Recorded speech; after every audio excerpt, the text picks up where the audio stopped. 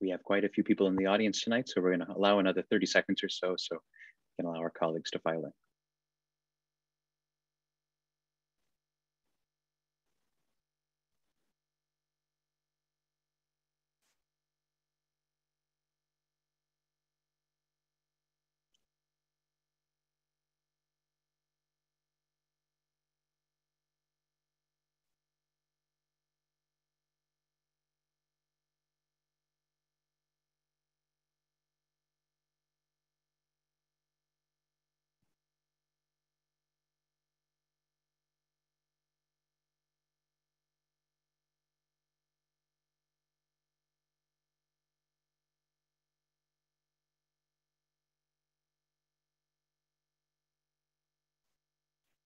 Well, good evening, colleagues and friends.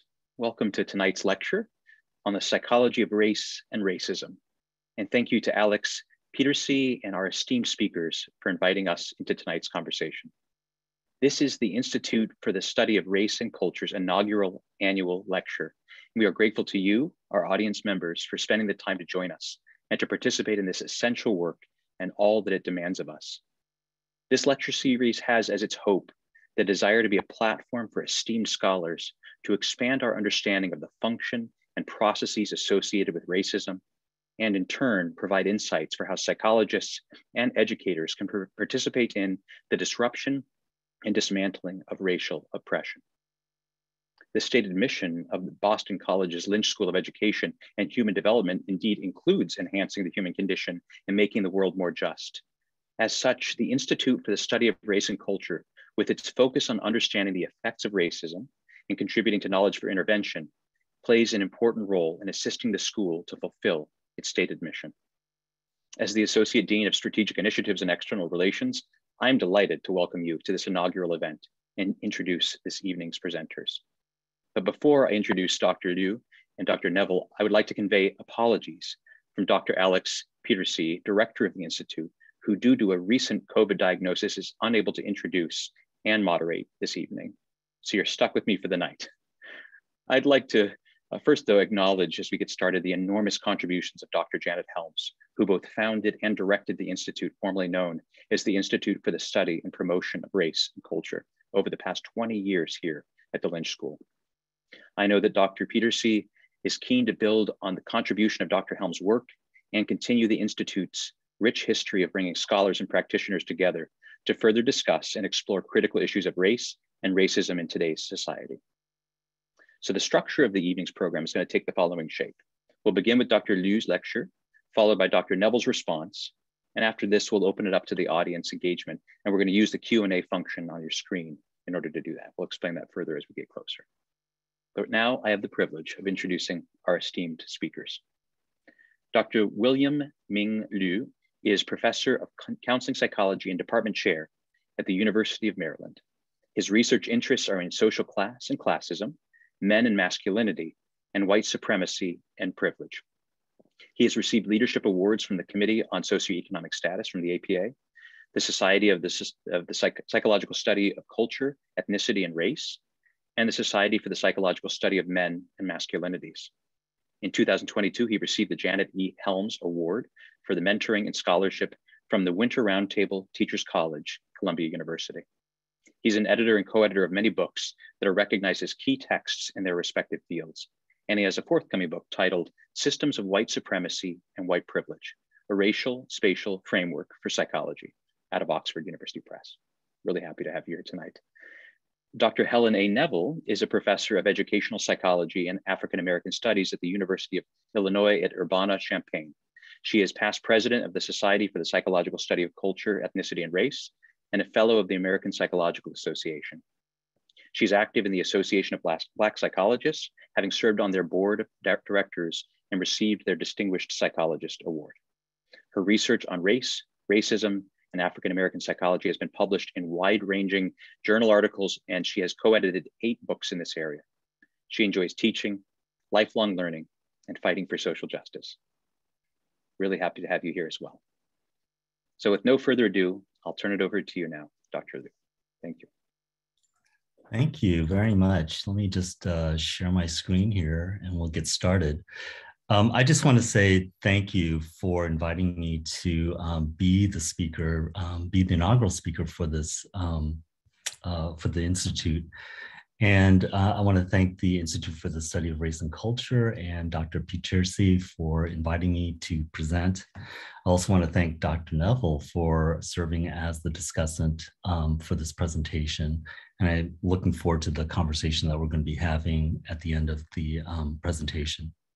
I also want to note that um, because of um, the topic that we're talking about today, which is on space and on the racial framing of systemic racism, it's important for us to, and important for me to provide a land acknowledgement from the place that I'm presenting from, which is the from uh, Maryland.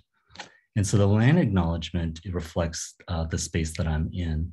I'm going to read the land acknowledgement and then we'll take a pause um, before we get started with the rest of the presentation. So every community owes its existence and strength to the generations before them around the world who contributed their hopes, dreams, and energy into making the history that led to this moment. Some were brought here against their will. Some were drawn to migrate from their homes in hopes of a better life. And some have lived on this land for more generations than can be counted. Truth and acknowledgements are critical in building mutual respect and connections across all barriers of heritage and difference. We acknowledge the truth that is often buried, we are on the ancestral lands of the Piscataway people, who were for, among the first in the Western Hemisphere. We are on indigenous land that was stolen from the Piscataway people by European colonists. We pay respects to the Piscataway elders and ancestors. So please let us take a moment to consider the many legacies of violence, displacement, migration, and settlement that bring us here today. The topic um, I'm going to be presenting about today is on systemic racism. It's a framework uh, uh, that, I'll, that we call the racial spatial framework for systemic racism. and in the discussion that we're having, um, that we'll that we'll uh, have today, uh, I just want to provide this caution because I know that some of the conversation that we'll be having, because this is focused on the traumas around racism, especially around systemic racism and the way that we uh, my colleagues and I have framed it, uh, some of the discussion can can be rather um, uh, curt, can be rather um, straightforward. And so I want to just make this cautionary note for those of us who are listening in and participating in this presentation that the discussion can be rather frank because we're talking about the impact and the consequences of systemic racism on people's lives, beat the lives of people of color. So the goals for today, one of which I want to start with, which is that um, my positionality is a cisgendered heterosexual Asian American man who's the son of Robert and Judy, who's the spouse of Rosina, and the father of Bella Rose. And the challenge that I have today is to present a framework, a racial spatial framework, in terms of how we want to understand systemic racism. So it's a sort of a big task, and my job, hopefully, is to be able to do it in such a manner and such a time that uh, we'll have a time for a conversation and just, and time for um, Dr. Neville to present as well. One of the things that uh, was important to myself as well as my colleagues as we developed this framework was that we wanted to try to look at the literature around uh, from the experiences of people of color and how they talked about their experiences with racism. And so the for me, one of the ways that I describe it in terms of uh, understanding this framework of systemic racism is making sure that this framework is in close dialogue with the scholars of color who are doing the research around uh, race, racism, uh, gendered racism as well, uh, intersectionality, all those aspects and all the theories and all the research that scholars of color are producing. It was really important that that the framework that we developed was, like I said, in close dialogue, that it made sense uh, in terms of helping us better understand the framework and the background related to um, systemic racism. So one of my jobs today, uh, in terms of the presentation, is to also explain the components of our racial spatial framework, which is racial capitalism, white supremacy, and anti-blackness as well. And a lot of uh, what I'm presenting today comes from our in-press Journal of Counseling Psychology um, article, as well as our forthcoming book, um, and uh, current research projects that I'm doing with my colleagues that looks at the experiences of white spaces uh, from a qualitative standpoint, but also in the pursuit of developing a measure and a couple of other manuscripts that we are uh, currently uh, working on as well.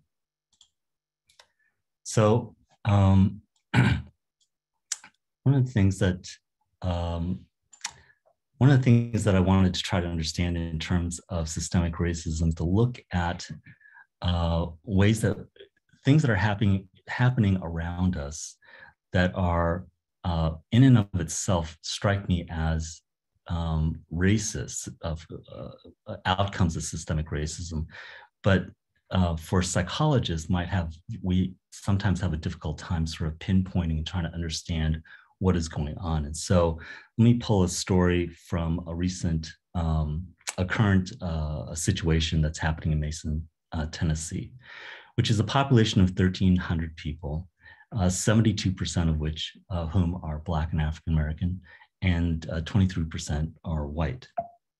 And um, up until 2016, the small town was run by white mayor and city council. And in 2016, that white mayor uh, and the city council um, resigned in mass, in part because they were found to have mismanaged the resources of the, um, of the town. Um, and like I said, it's a predominantly Black uh, town of Mason, Tennessee, but it's located in a predominantly white Tipton County, 78% white. And for the most part, the town was off the radar for um, uh, for Tennessee uh, state government. Uh, it was a it was a town that was run mostly by uh, blacks uh, municipal government at that time until, of course, uh, Ford the Ford company decided to build a new 5.6 billion dollar electric car plant nearby, about five miles up the road from um, Mason, Tennessee. So, as you might imagine, what happened was it suddenly became evident that Mason, Tennessee became a valuable property, a valuable space that um, that uh, was important for for uh, not only the county but also for the state. became so important that uh, the comptroller Jason Mumpower announced that the that uh, he was going to, as an agent of the state, take take over financially the governing of the town. Um, and his accusation was that uh, that the city, the town, had a history of financial mismanagement. Didn't matter when it happened, who it was, uh, who caused it, um, but he looked at the history of it and said that the the town had a history of financial management, and therefore he wanted to dissolve the city charter, which meant that Mason, Tennessee would cease to exist and it would blend into the larger Tipton County. And this is the vice mayor as well as the mayor standing next to Jason Mumpower. And just in case you don't know who Jason Mumpower is here, I'm just going to highlight Jason Mumpower here in the slide. And part of the restrictions, because the dissolving of the city charter didn't go through, Jason Mumpower went in and said that this city of Mason could not pay any bills more than $100, which was about 95% of the work that the city government did, which is everything over $100. It also they also put the city the city, the town of Mason, Tennessee, on a repayment plan of about $10,000 a month and that they had to prove by this summer that they could manage the finances of uh, the town. And um, this is a picture of them meeting and discussion uh, about the city charter as well as the financial uh, management of the city. And at present, the NAACP uh, has provided legal counsel to and represented the um, city as a part of the um, the fight to resist Mumpower's takeover of the of the town. So as psychologists, as a counseling psychologist, how do we understand what's going on in Mason, Tennessee? So, how does psychology conceptualize this uh, beyond just the individual acts of racism, right? Beyond just individual actors of racism in this context? How do we understand this? Uh, how do we label it? What kind of racism is this? What is happening? But also, why is it happening as well? And how is systemic racism a part of this analysis? How do we make it a meaningful part of this analysis? For me as well, in terms of my framing of uh, the within the racial spatial framework of uh, systemic racism, I'm also wanting, I'm also interested in understanding how does white supremacy, how is white supremacy implicated in this uh, current situation? How is racial capitalism uh, related to how we understand what's going on? How is this relevant to anti-blackness? And for me, related to this also is how is white time relevant in our analysis too? And I'll talk a little bit about that in a moment in terms of helping us understand what white time what what white time means within this particular um, context. So uh, one of the things that I turn to is tr in trying to understand um, the aspects of systemic racism uh, is to draw upon our current research and our current theories and uh, try to place this particular uh, situation within uh, context, right? And so turning to something like the 2000, 2017 multicultural guidelines that were produced by APA, uh, in, in those multicultural guidelines, they adapted and brought Bronfenbrenner as a means to understand systemic racism, right? So this is Bronfenbrenner's chart. I think most of us have a sense of what the what the chart is, as well as the concentric circles that represent the different uh, ecosystems. And what's clear here in terms of, and what's really also important to understand in terms of Bronfenbrenner's um, ecological systems theory, is that um, in adapting it to understand systemic racism, we also have to remember that this particular theory is a theory of white child development. And I want to make sure that we understand that this is white, chi white child development. Now, he doesn't label it as the white child, it's the ubiquitous child that is represented within the system. And so uh, the system operates in a manner that is predictable and linear with respect to its effect on the white child. Um, that uh, if something happens, let's say in the macro system, that there's a predictable linear way in which uh, it cascades across the different systems onto the child. That's the expected way that the that the ecological systems theory is supposed to operate. Um, the other piece that is apparent as well as we as I was doing this uh, research is that there there are no ideologies explicated in um, the ecological systems theory and so in terms of using it as a way to understand systemic racism, that's one of the components that's, um, that's missing. But you know, if we think about it as the white child as the center and the society operating in a way that protects and nurtures and cultivates the child, especially the white child, then we can see this is an idealized, optimized system for a child. And it is, it may be inaccurate and it may be um, problematic simply to put a child of color, a Black child, in the center without really understanding what's going on within the different systems. Uh, this is this particular model, this particular theory is not a context that reflects racism. It doesn't centralize race as a way to understand how these different systems operate. So one of the things that happens is that if it doesn't centralize race as a feature to understand systemic racism, then what happens is when you put racism or some kind of effect within that system, it, it becomes under theorized. In other words, racism, uh, as we understand it within this particular sort of white framework, um, becomes under theorized. We sort of underestimate the impact, the systemic impact of racism on the individual. That's what I mean by under theorized. And so we might think about it as potentially being uh, misapplied, using the ecological system theory as being misapplied with respect to trying to understand systemic racism. And so there is a need to conceptualize systemic racism that centralizes how we understand race, how we understand racism from these multiple scholars and researchers of color and writers and artists who've talked about racism different ways. How do we centralize it and then build a model, potentially a framework to try to understand systemic racism?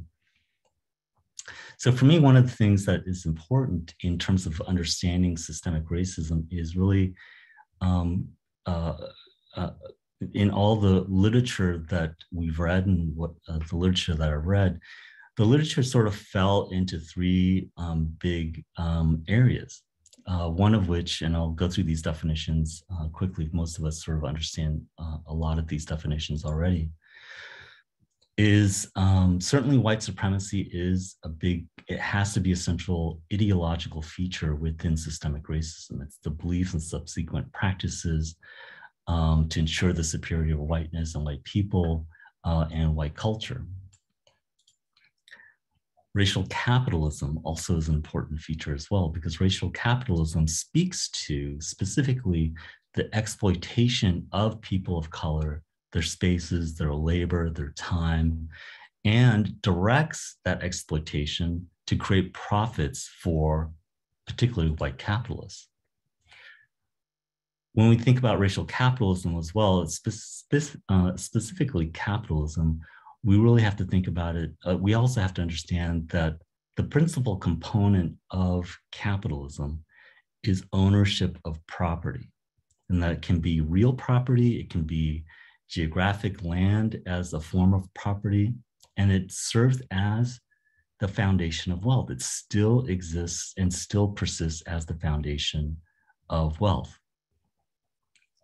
Related to racial capitalism as well is we have to understand that capitalism is not distributive. Capitalism is a focus on hoarding and accumulation, right? It is about constantly gaining, constantly pulling in there's no moral or ethical guideline or framework that says capitalism has to be shared. You know, it's in many ways it's sort of counter to some of the econ 101 um, uh, courses that you might have taken that you know there's some benefits to competition where you develop um, better products and the prices go down. Uh, that's an intermediary step. The reality is, is most capitalists, the people who are owners of businesses, the capitalists um, don't don't care about competition. In fact, they want to eliminate competition, right? So if we didn't have certain laws in place, we would have major monopolies, which we still do, and we do have those monopolies. So the focus is on eliminating competition. That competition can be businesses, competition can be people, competition can be community. So eliminating competition is also a principal component within capitalism. When I speak of capitalism too, I want us to constantly remember that we're really talking about racial capitalism, that it's um, that race and racism are central features in the way that our economy operates. It is the structuring of racial economic inequality is a key function within um, how our economy uh, operates.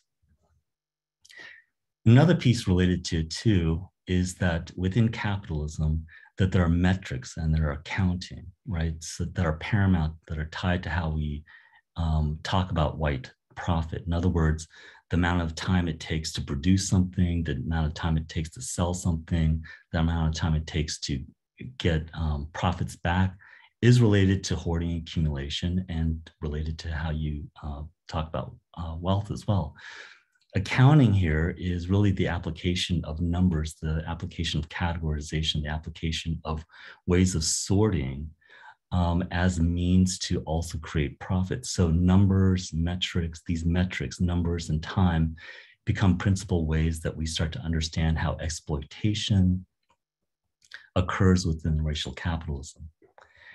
And also anti-blackness, excuse me, um, is a central feature as well within uh, this framework of uh, the racial spatial framework of uh, systemic racism. It is simply the dehumanization of Black people.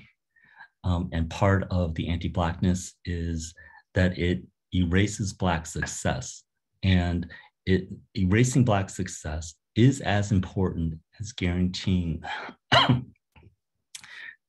um, success for white people. So even if they're in a situation, there's no explicit gain for white people uh, within that space, it's also it's also important to make sure that there are no gains at all for Black communities in that space as well. So erasing, eliminating, depressing Black success, economic, especially economic success, is as important within uh, anti-Blackness.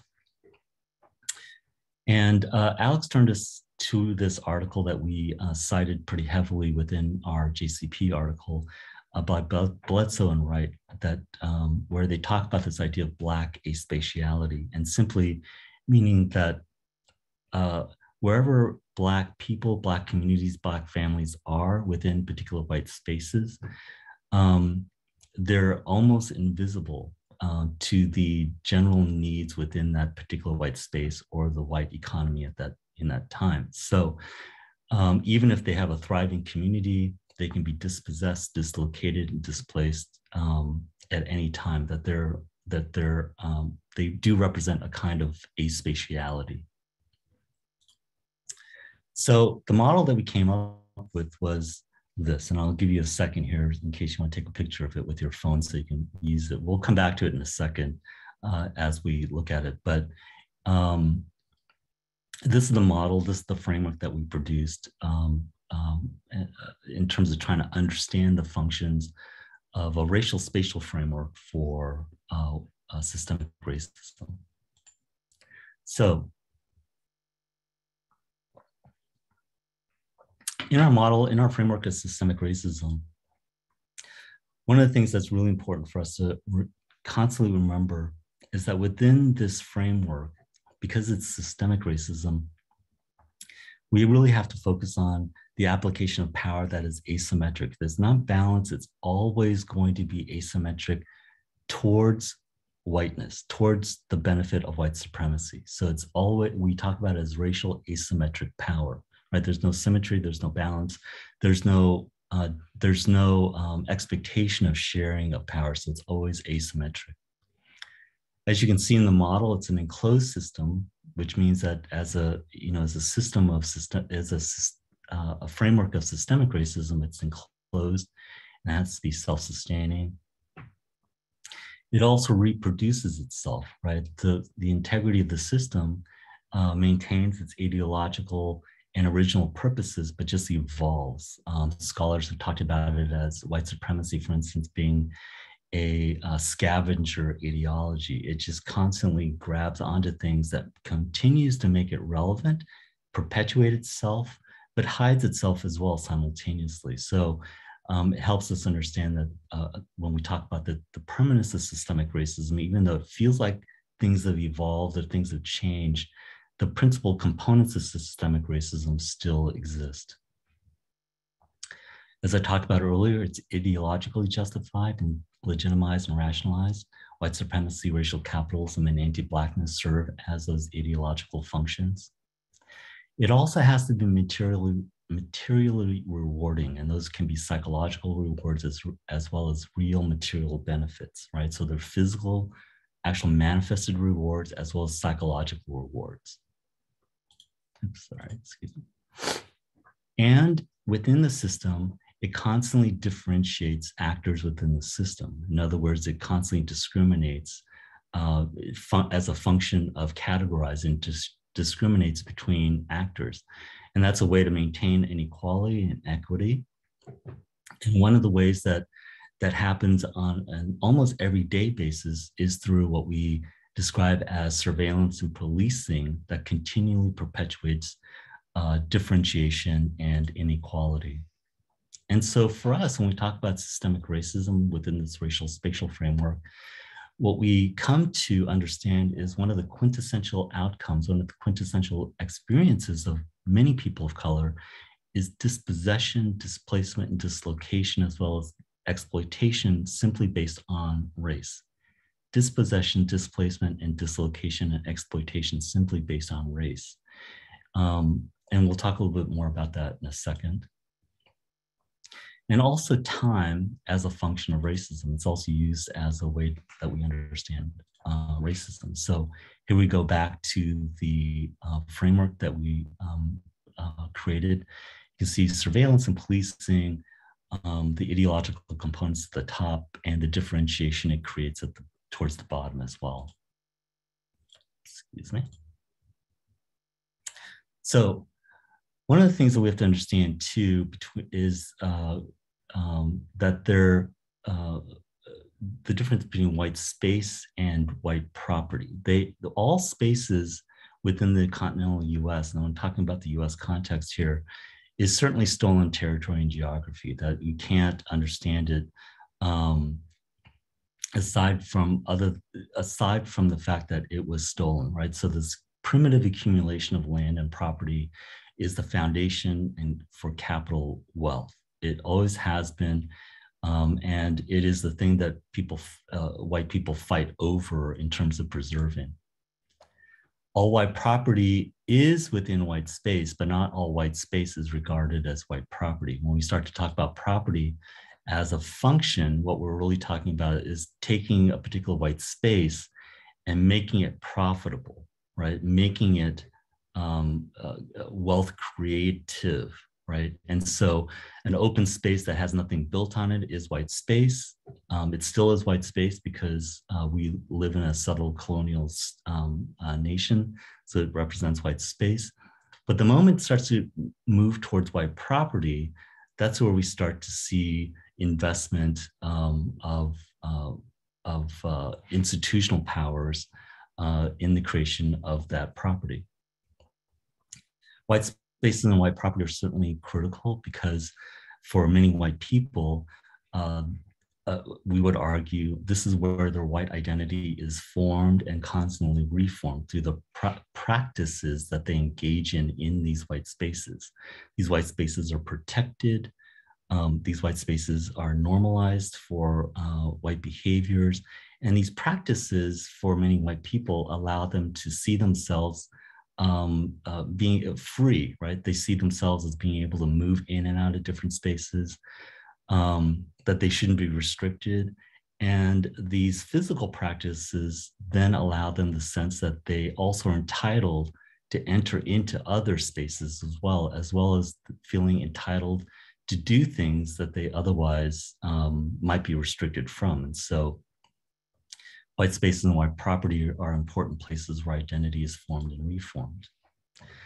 And so when, as I was talking about before, and if you think back about Mason, Tennessee, the movement between white spaces and white property um, and the implementation of white property rights is where we really start to see the demonstration of institutional power come into play.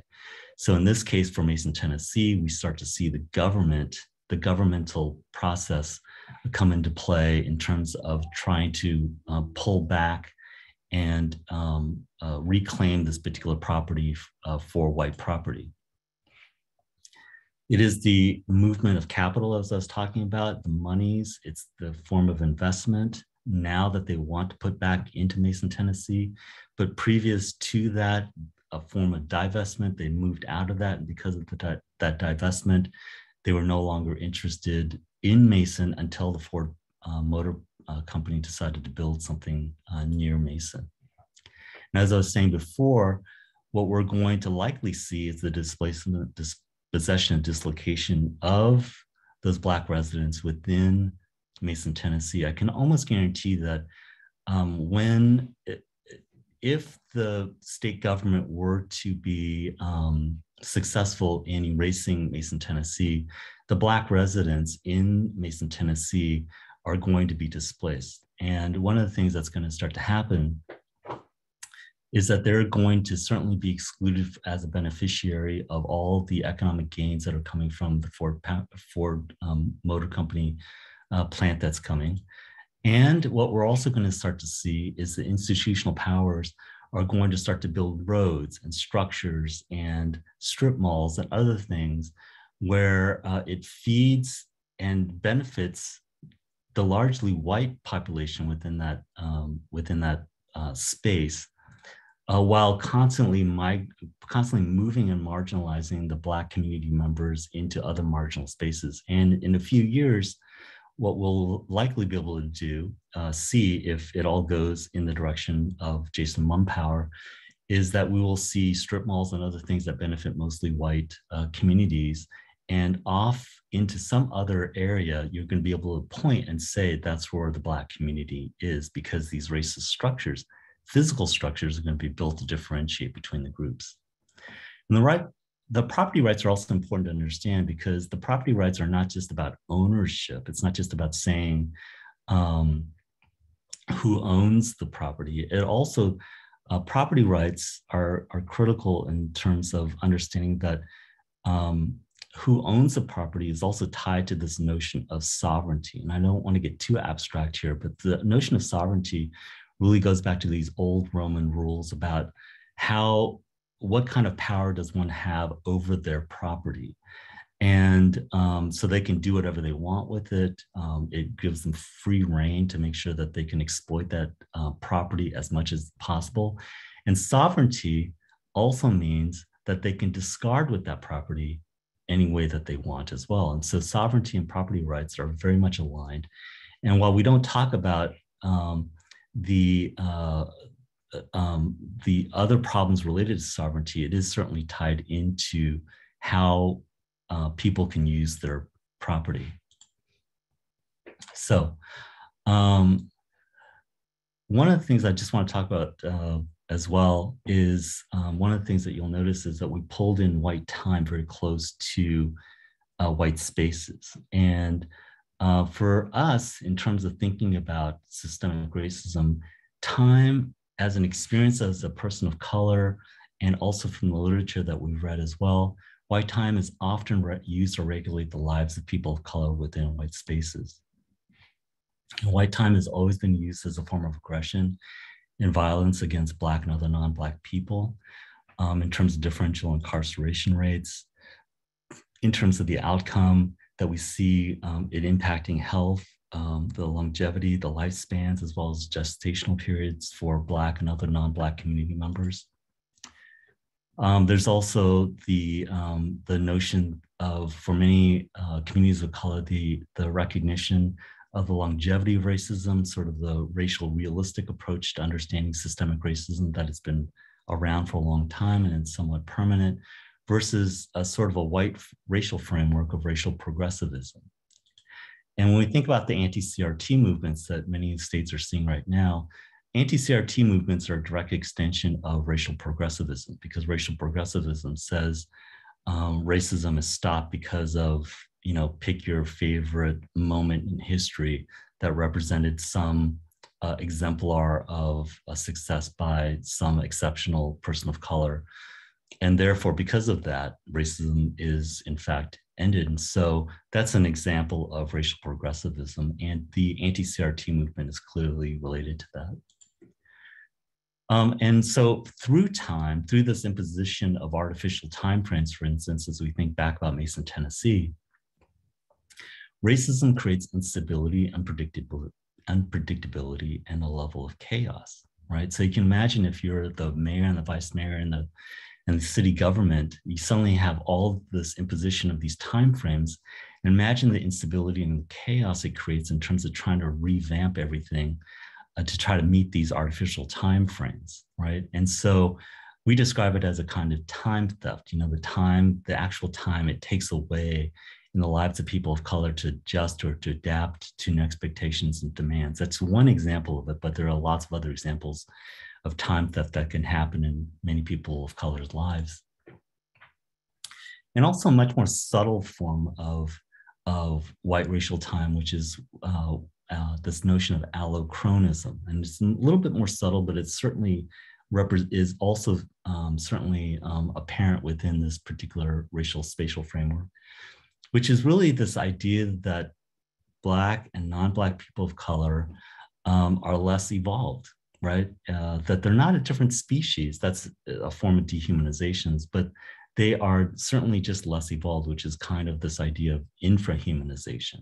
One of the outcomes of this idea of allochronism or the idea that Black and non-Black people of color and communities of color are less evolved.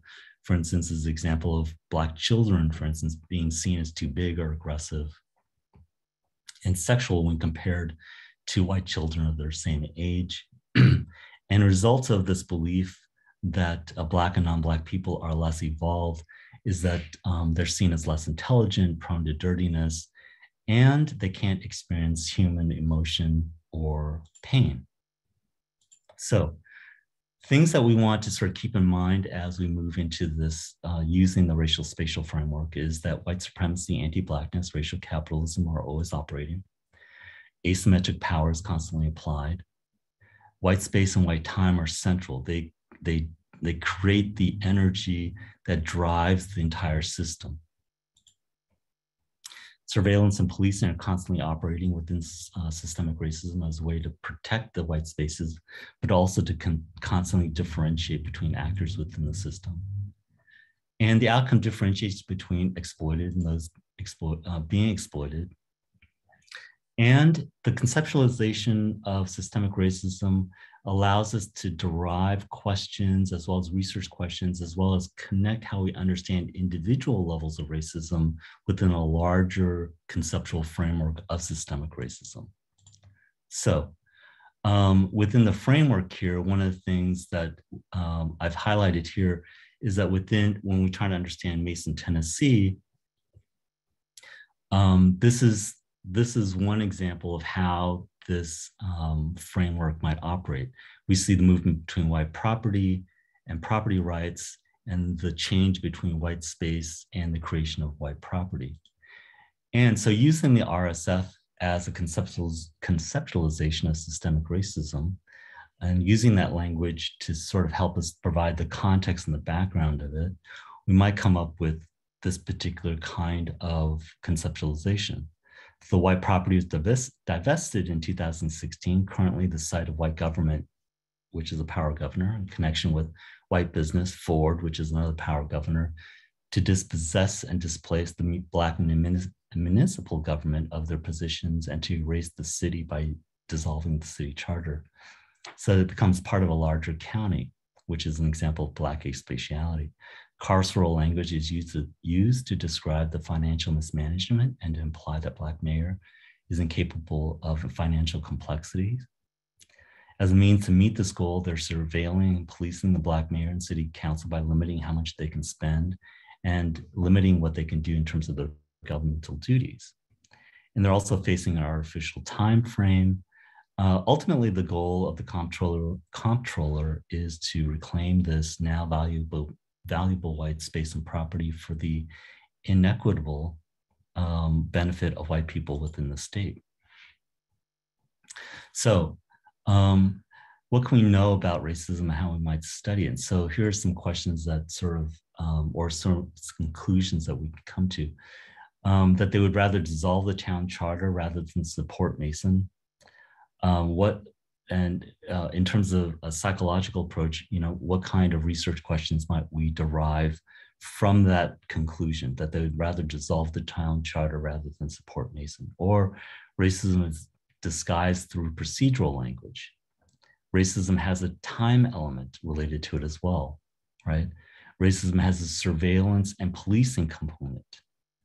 And racism uh, the outcome and the effect of systemic racism within the RSF is that it creates wealth that's directly related uh, for white people while dispossessing Black residents uh, and in effect reducing and eliminating economic competition, i.e. dissolving uh, Mason, Tennessee. And so I'll end it here by just asking us to think about using the RSF with other um, kinds of large contextual systemic uh, examples of systemic racism. You know, we have Flint, Michigan, have Ferguson, we have the US-Mexico border, we have Standing Rock, we have more recent examples that came out in the papers uh, about Black-owned homes being appraised for less value, which is a form of systemic racism, right? And we should know that because it helps us understand the context uh, in which um, um, communities of color and people of color are uh, living in, they're trying to, uh, that they're experiencing within systemic racism. So um, for us, one of the things that I would ask us to do is when we think about um, uh, theorizing the importance of systemic racism, we have to provide a better context, a better frame. So we, you know, when we write papers or we um, talk about a predominantly white institution, for instance, for those of us who are working on college campuses, we have to do a better job of really providing a more nuanced, much more uh, elaborate, uh, theoretically cogent understanding of what it means when we say predominantly white institution. We don't want to use it as a throwaway term that means a lot of different things. We want to sort of bring it into a coherent whole. We also want to provide a context where we can understand how psychological research can be connected to understanding this larger systemic racist uh, context. And it allows us to better situate our uh, qualitative and uh, quantitative findings. So I want to stop it there, and I think I uh, made it just on time so that uh, uh, we have plenty of time for Dr. Neville to provide um, some commentary, and we'll have some Q&A. So thank you.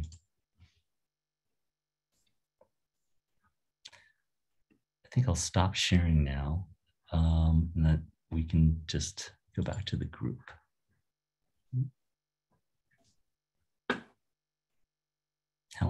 Oh, wow. That was fabulous. Thank you so much. Um, thank you so much.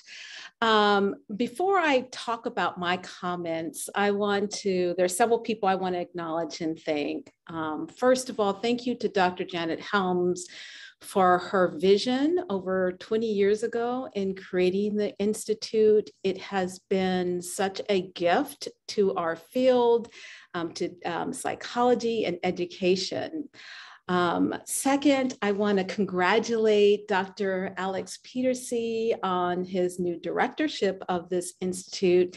And it's wonderful to see that an academic grandchild of Dr. Helms is assuming the mantle, and he's already off to a great start. Um, and thank him for the kind invitation. And last but not least, I want to thank Dr. William Liu for this outstanding presentation and gift that you've bestowed to the field. Um, Dr. Liu and I go way back where we did some, I would say, trauma bonding over a decade ago when we were part of the National Multicultural Conference um, and Summit coordinating team. So it's fun to see your work and how it's taken on many, many different directions.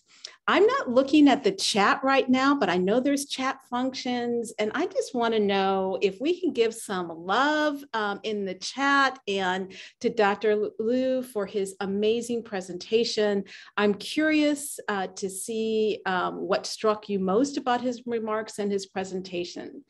So my comments today will focus on what was said in the presentation as well as the JCP paper in which Dr. Liu talked about, which is going to be a must read paper. It's coming out in a special issue in the Journal of Counseling Psychology that is committed to structural racism and anti Black racism, edited by Drs. Matt Miller, um, Alex Pieterse, and Jioni Lewis. So I'm going to highlight some things that struck with me and what I see as the important strengths of the work.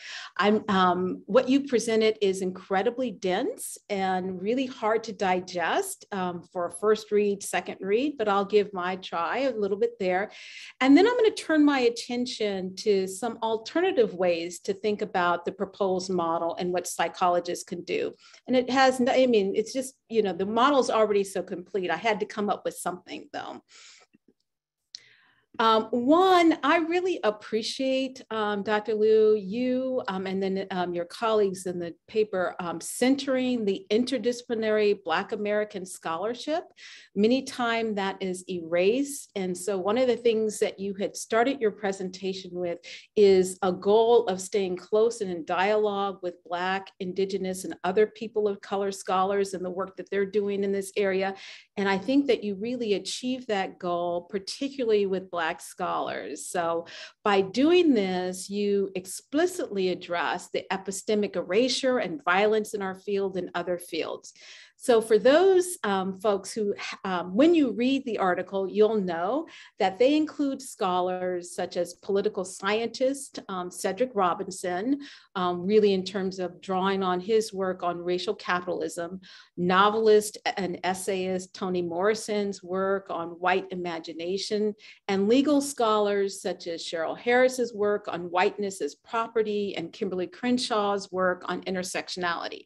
So that was really important, as well as uplifting and highlighting some counseling psychologists' work, such as Thomas Parham, Thema Bryant Davis. So centering that scholarship and seeing how Black scholars and what they have to say, I think is incredibly important. So thank you for doing that.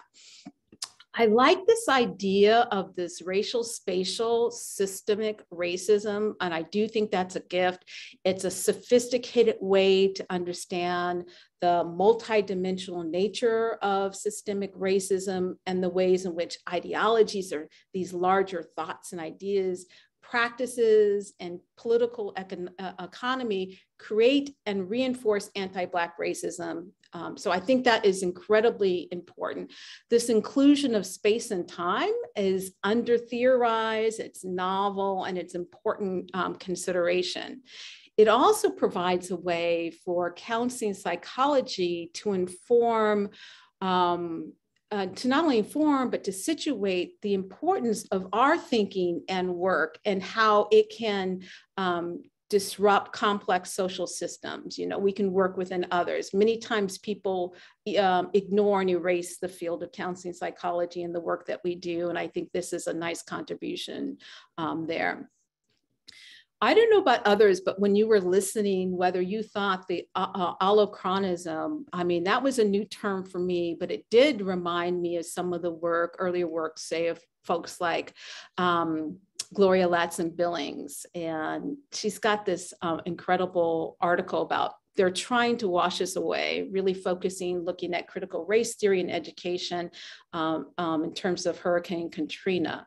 And what I like so much about this concept is it allows us an opportunity to think about the ways in which I'm going to particularly focus my uh, comments on Black folks because of the anti-Blackness that is in the model. But the, it denies Black folks a historical being. And in the article, you unpack that a bit more. It's, it's as if our history starts with um, slavery or the slave trade or starts with this. It's as if our history starts when white people interact with us. And then by being ahistorical that way, then it doesn't allow us to have these victories in certain ways or culture that stands outside of Europeans and whiteness. So I think that's really interesting. And in a way, then it erases our humanity. And in the Mason example that you provide, um, the, the white time, the way that I really see that it also works is when they arbitrarily decide about when they're going to start thinking about the mismanagement. Uh, and even though it's with white folks, they're going to attribute it to Black folks. So I think that was, I really think that's a, a beautiful way of, of kind of conceptualizing that. Also, this notion of time as this is not necessarily what you were going to do um, um, talk about it but it also hits home because it's it, it's connected to this concept of racial capitalism right?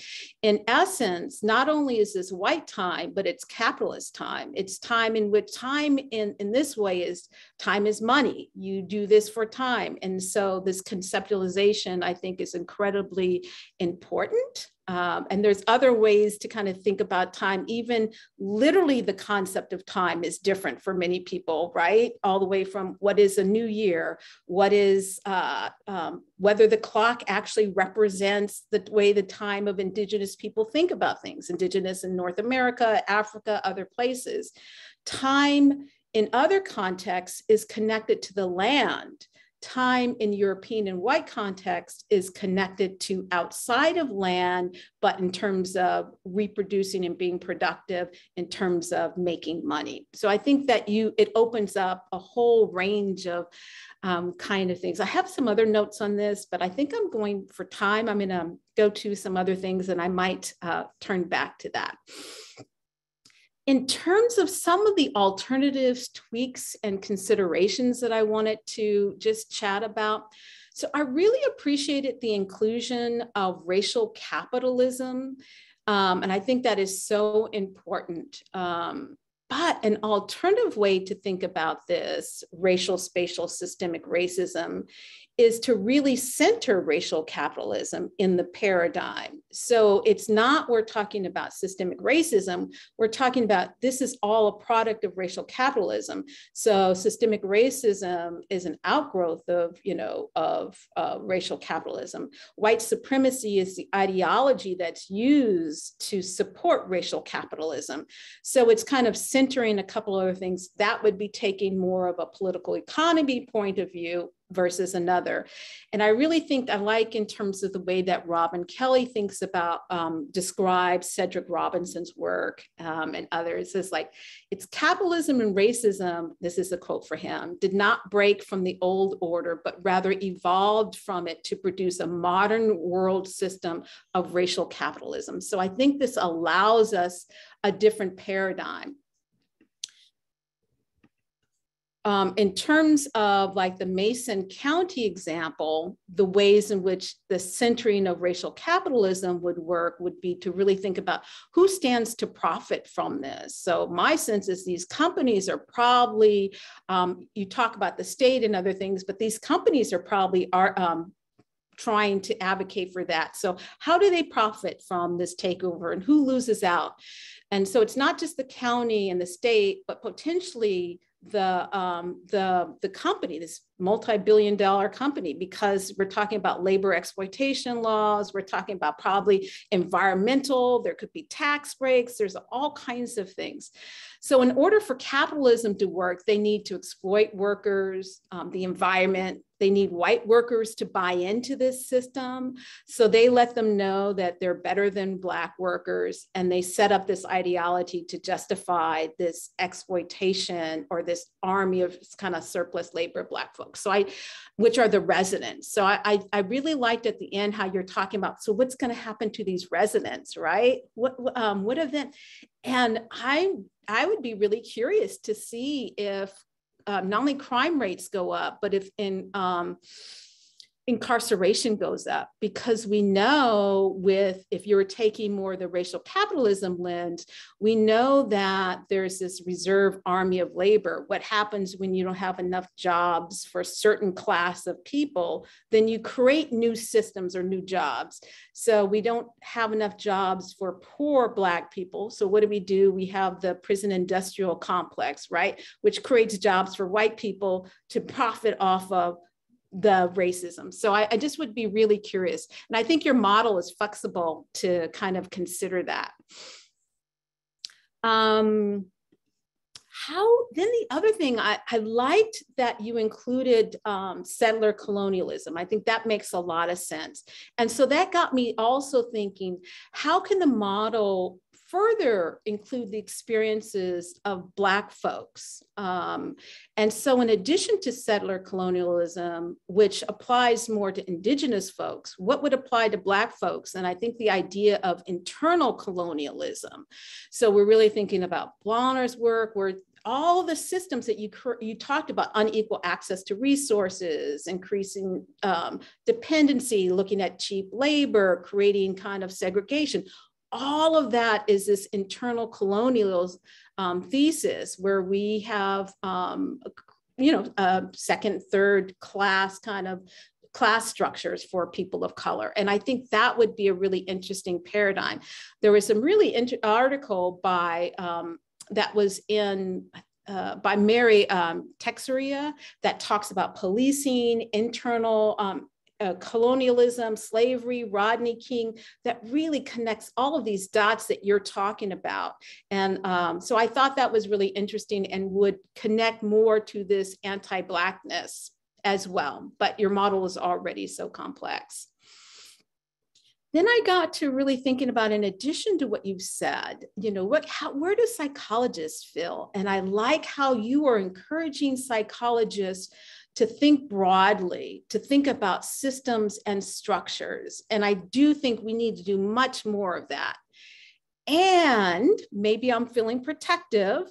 I also don't think we need to abandon some of our strengths that we get trained as as counseling psychology in terms of individual, interpersonal, and group stuff.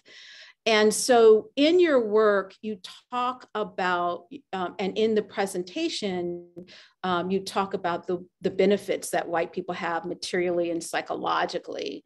Um, and Du Bois talks about this experience as the wages of whiteness. And there's two right dimensions of that. There's a psychological dimension, and then there's a material dimension.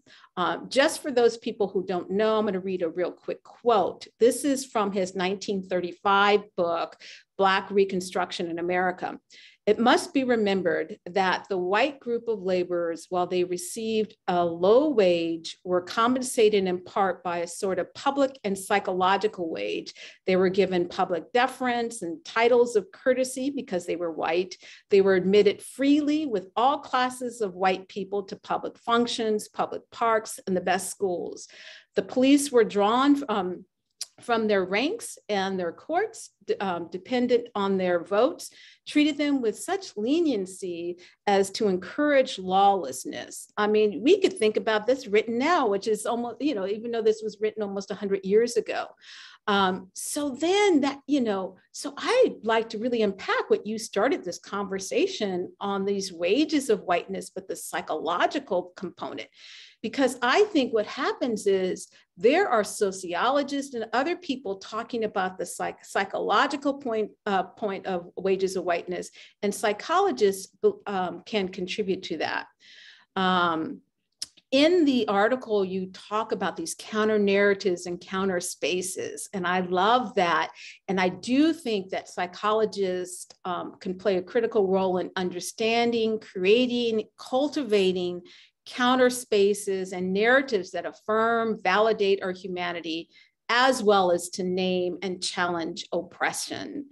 Um, and how to have both of these when we think we want to have the spotlight on Black, Indigenous, and other people of color, we want to be able to name oppression, but we also want to highlight the fact that our lives exist without is not just dependent. That's not all who our lives are. How do you hold all of those um, and I, you know, reminded of the work that Toni Morrison does or Zora Neale Hurston, where they write stories for Black people. So, how do we use the psychology to write stories for us that takes all of this into consideration? And so, you talk about this beautiful narrative about Mason, Tennessee. So, if we were to write counter spaces, there are stories. What would they be? What would they tell us that both affirm and challenge?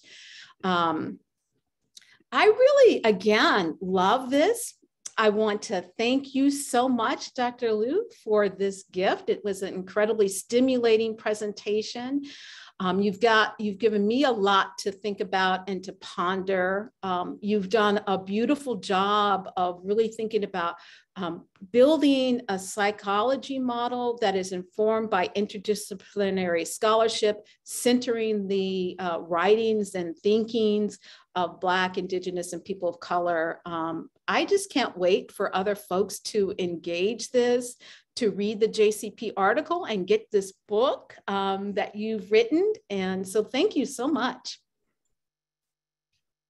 Thank you. I appreciate it. Thank you for those those comments. It's lovely, beautiful, and I really appreciate it. It's, um, um, I'm looking forward to our book as well. We we actually just had another extension for the deadline because we just there's so much to that we keep moving into it that um, that uh, we're, we're hoping to get that done uh, soon enough. But I, I just want to thank you for those lovely comments and just so nurturing, so thoughtful, and um, just thank you, thank you. Thank you.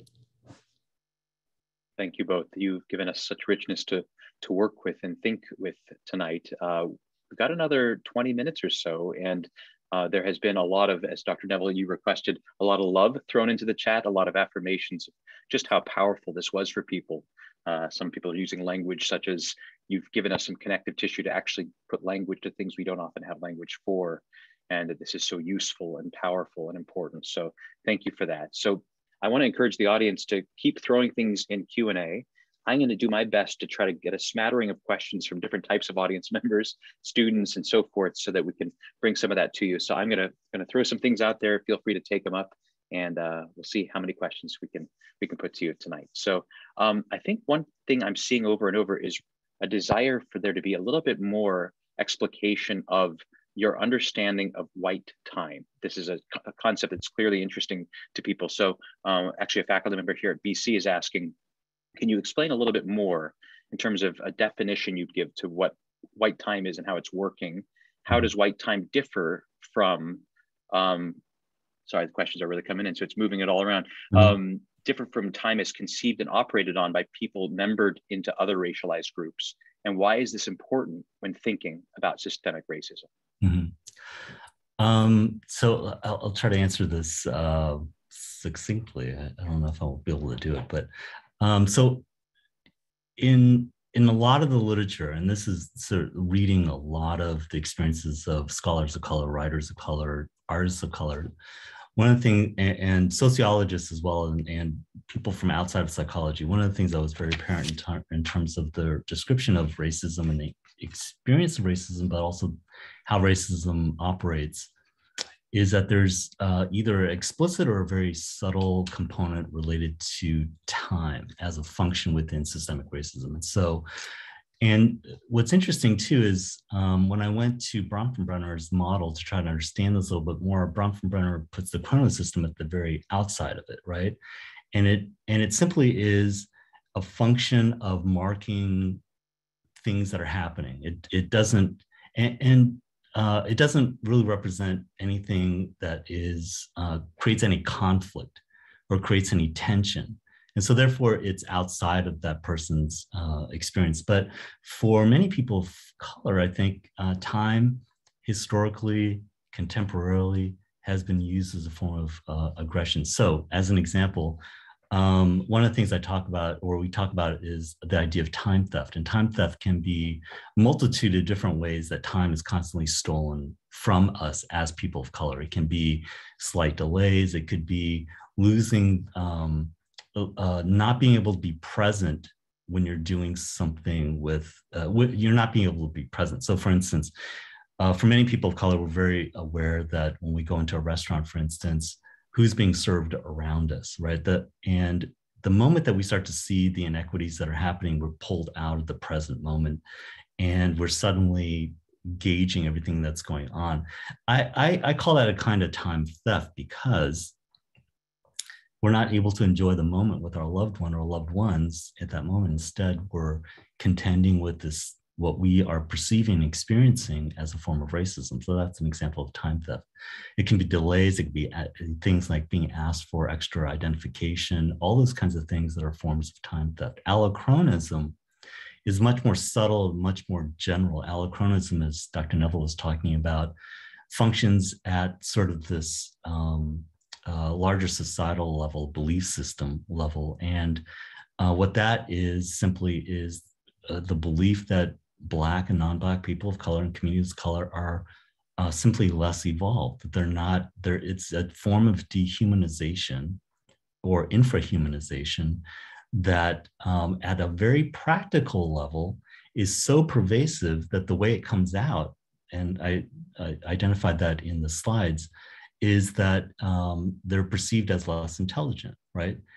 Or, or uh, and or they're also seen as um, uh, more tolerant to things like pain, right? Or they don't feel human emotions. And you think that that seems absurd, but we know from uh, research around uh, medical practices, right? If you go into the physician's office or trying to seek treatment, uh, one of the things that's a constant complaint is that uh, physicians often don't, white physicians often don't um, pay attention to the reports of Black uh, and non-Black people of color patients in those situations. And in fact, they get better treatment when they're being seen by a physician of color than they are being, than they're seen, being seen by a, a white physician. So allochronism functions as this kind of idea that they're less evolved, um, less intelligent. Uh, they don't have this sort of emotional capacity of humans at a practical level, like I identified uh, in the slides. Um, Black and non Black kids of color are seen as too big, too aggressive, too sexual, uh, less intelligent uh, when compared to white kids of their same age. And so that's a form of allochronism. It's sort of this idea that people of color exist on a deviant time frame, a different kind of time frame. And the holders of real time are white people, right? That they determine what is appropriate time, what is accurate time, what's a good developmental time. And that's that's sort of what allochronism um, uh, kind of means uh, within the within the paper. I, I don't know if uh, Helen, if you or Dr. Neville, if you sorry, had any thoughts about what I presented. No, I, I think that um, to me makes a lot of sense, and I'm yeah, makes a lot of sense. Yeah. And I'll, I'll just say in our um, one of the things that um, one of the things that uh, is still very apparent in the psychological research, um, especially uh, when researchers are producing um, papers that are focused on things like genetic differences, on intelligence. It's still being produced, right? There's a paper by Weiner, Weiner, Weiner, and, and somebody else that came out in the uh, personality social psychology, I think, that focused on uh, intelligence differences. And you can see throughout, if you really have this lens of allochronism, this idea that um, Black and non Black people are less developmentally evolved, it's pervasive. It's, it's the thing that they build their entire paper on that uh, white people are more evolved and Black and non Black people of color are less evolved. And that's how they make their arguments around genetic differences in uh, intelligence, for instance, as an example. So stop. Thank you. Yeah, yeah. Um, moving to to an undergraduate student's question, very mm-hmm. earnest in nature. Uh, what are things as a young college student I can do to uplift communities that are affected by systemic racism? Excellent question.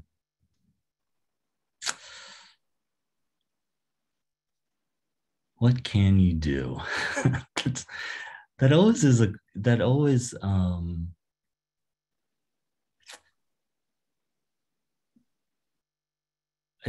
there well there there are a lot of approaches that you can take if you take this racial spatial framework and trying to figure out what you what you can do as a as a I, I assume maybe as a white uh, college student for communities of color is to um, use it as a way to understand uh, things that are happening in the physical space within your community right? That they that that is a form of uh, spatial, spatially based racism, um, and to think and to elevate, to collaborate, to collude, to work with communities of color um, in ways that can disrupt, uh, to identify ways that they're being dislocated, uh, to participate in movements, to speak up, um, to and to highlight uh, um, the degradation that's happening in a lot of these communities of color. And I think the other piece too, I just want to uh, also offer is that when we think about uh, racism, when we think about the operations of systemic racism, um, one of the conclusions that my co-authors and I came to is this idea that you know racism still has a function, has, still has as a, as a primary function this notion of control uh, not only control, but it also has a very annihilative component to it. And we can't ever turn our eyes away from it. We, we have to be able to sit with the, um, the uh, perniciousness, the deadliness of racism, either as an immediate cause or as a long term cause through chronic stress and other metabolic effects. But we really have to be able to sit with this notion of racism as having these these very severe detrimental effects that it is interpersonal, but it is also metabolic, it is also systemic, it's also cultural. Um, and then we have to sort of be able to understand uh, how pernicious racism, systemic racism is. Can I just, um, might I say, oh, I, um, in addition to everything that Dr. Liu said, um, I also think um, that if I'm not sure of the identity of the person, so if the assumption of the person who wrote the question is white, I, I I'm not sure. I don't know if uplifting people of color is really the first kind of step. The kind of step is to really begin to interrogate um, your own whiteness if the person is white and how these things that Dr. Liu has outlined, how's that work in yourself? Where do you see it in your family, in your neighborhood? Begin to use these tools to gain a critical awareness and then begin to challenge whiteness, anti Blackness in the circles that you are working in, um, begin to look at structural changes that Dr. Lewis uh, has talked about using resources there. I think that could also be um, a really good strategy. So you might want to think about the college campus that you're currently on and using the tools and this model that was presented to see how that applies on your campus. Um, so just. Thank you. Well, a question that piggybacks a little bit on this, um, instead of it being about uh, sort of communities we imagine are being affected by systemic racism, this is particular to the counseling field. How, how do hmm. you suggest we dismantle these systems of power within the counseling field and then also within academia? Big questions. yes. Um, So uh, one of the things that we put into the JCP paper was this, uh, um, and uh, Dr. Neville is talking about this in terms of the counter narratives and uh, counter spaces. Um, it leads us to this. It leads us to this idea of thinking about the ways that we practice potentially and the ways that we approach health, wellness, and how we identify and conceptualize illness, for instance, within our current uh, theoretical frameworks. And this comes from the work of um, Charles Mills, where he, where he talked about sort of philosophically this idea of um, white epistemological ignorance. And it's not, and it, there's one way to understand it, but what he was also arguing uh, in terms of white epistemological ignorance was this idea that um, the these white philosophers who talked about freedom, talked about liberation, um, were developing these models and theories of liberation and freedom. All the while they were all the while, um, all of this horrendous racism was happening around them, but they didn't attend to it. In fact, they taught they talked about it as they're not worthy of our attention. So this, so they developed this theory of, uh, of freedom and liberation, um, all the while ignoring this horrendous racism that was happening. So how do we understand what within our current field? Um, you know, with within our current uh, psychological frameworks of dynamic, humanistic, existential, um, uh, cognitive behavioral, for instance.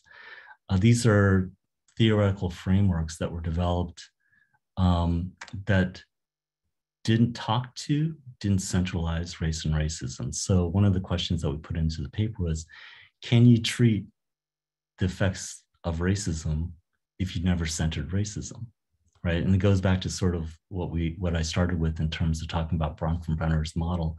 If you never centralize race and racism, um, then who are you centralizing? Who are you putting at the center of, of what you identify as health and wellness?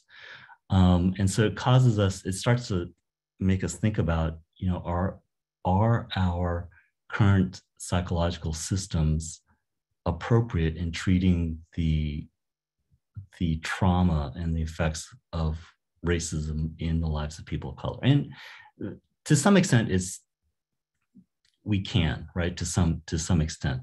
But um, there are also all these other ways of approaching health and wellness that centralize, center, center race, center the lives of Black and non-Black people of color as a model and as a way to um, uh, talk about health and wellness. Yet those are marginal theories; they're not central, right?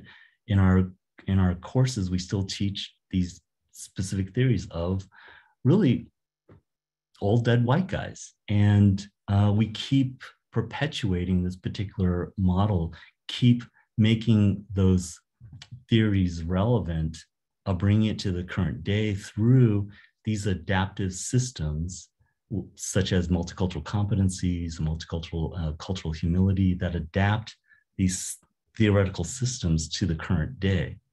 And what I'm suggesting is that we're really thinking about um, decolonizing, being anti-racist. Um, what is it that we want to do? You know, how do we how do we decolonize a theory that's premised on this rigid epistemological ignorance of when they built the model of, of health and wellness ignored all of these things that were happening all around them. So I just, I, I'll stop there. I feel like I've said a bunch.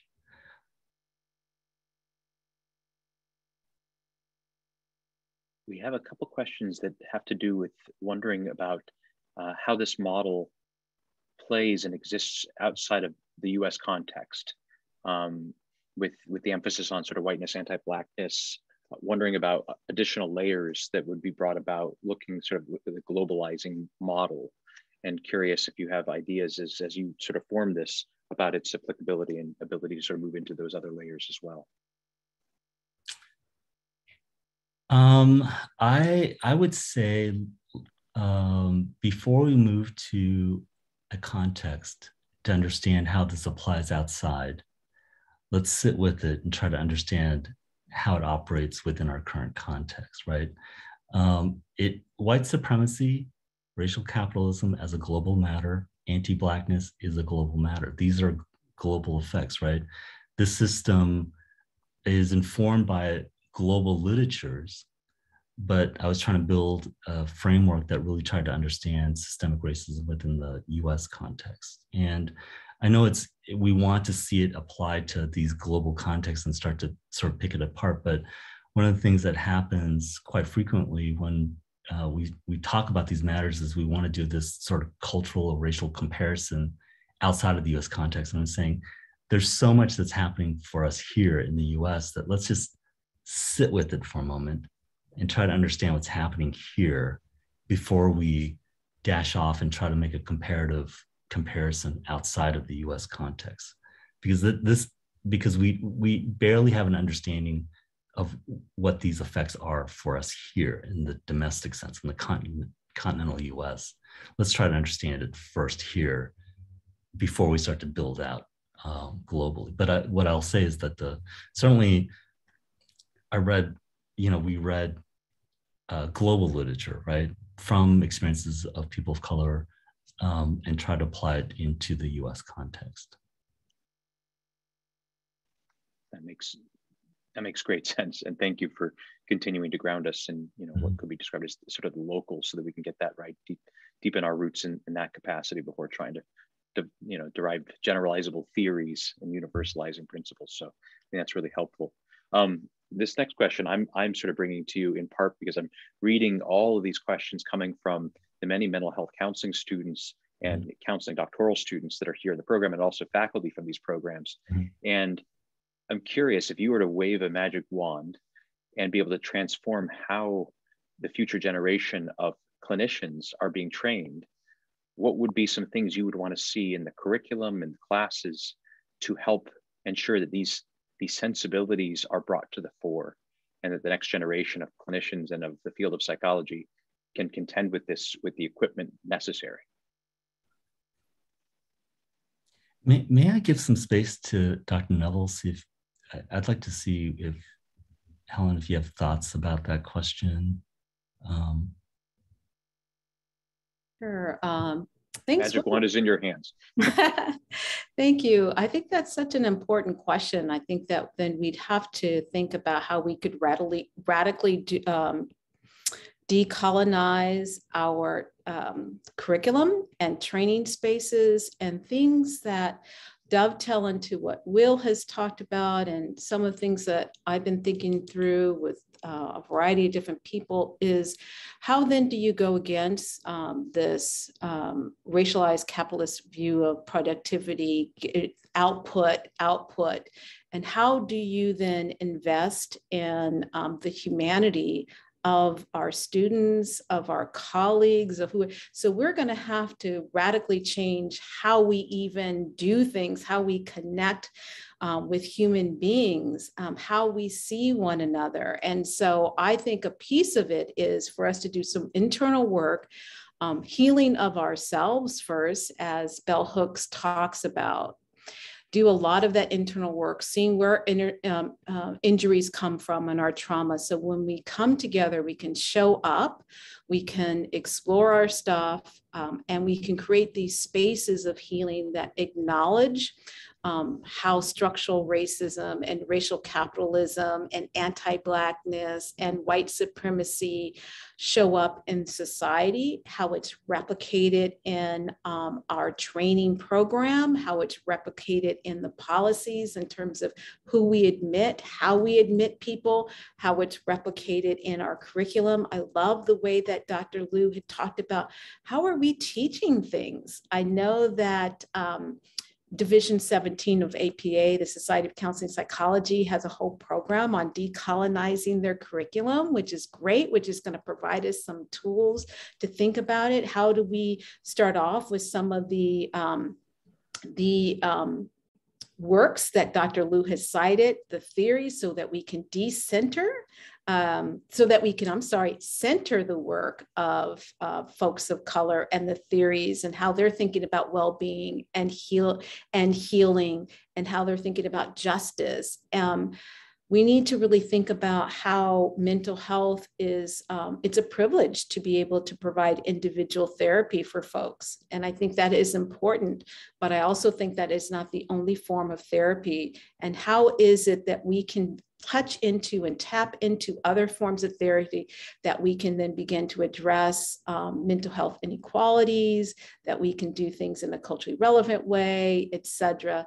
Other quick things are um, how do we, and, and uh, Dr. Liu talks about this and other folks do too, how do we um, think about what we study, why we study what we study, what's important? How do we center the people most impacted by our work? We're not, I don't want to hear about what I want or what you want. I want to hear about who wants to come into therapy, who, who are the people at Mason, what do they need from us? What are our tools?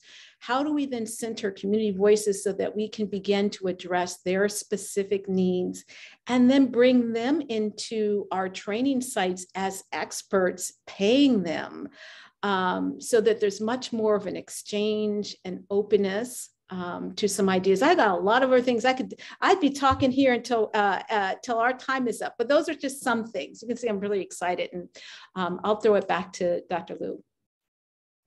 Thank you. I, I appreciate. It. I, I completely agree. I I, I think. Um, you, you, know, when we think about training, um, uh, especially with the communities that we want to work with, we need to think about who are we um, accountable to, right? And that's an important piece is the communities, the the writing in this latter part of my career that I'm doing, you know, I've, uh, that I've recognized for myself is that, you know, you start to change the audience that you're writing to, you know, and as soon as you start to make, and for, for those of you who are young scholars who are doing it, as soon as you start to make that sort of epistemological shift and that start, you start to change it to think, I'm in this example here, um, I'm being held accountable accountable by Dr. Neville, right? I want to make sure that I am saying and doing the things that are representative of our experience of what is important. And as a colleague and as a friend, as somebody who's a, a, dear expert in the field, um, that that becomes an important um, part of how we want to start to shift our our epistemology, right? Who do we want to, who are we, who is our community and who do we want to be held accountable to? And then it helps us start to take a different approach and different look at the things that we're being trained into and what the what they're being asked or what we're being asked to do. uh, and all the things that we're being asked to accommodate as a result of it, right? Um, and the ways that we're we adapt ourselves to try to make it relevant, constantly relevant to these communities of color, when in fact we have this wealth of theories and experiences and writings that are healing but are considered not core material in our training and that and as uh, dr neville was talking about i mean those are the kind of things that we need to bring more into this more into our uh, the center if we want to think about ourselves as relevant cultural um, uh, mental health practitioners um, with our diverse communities.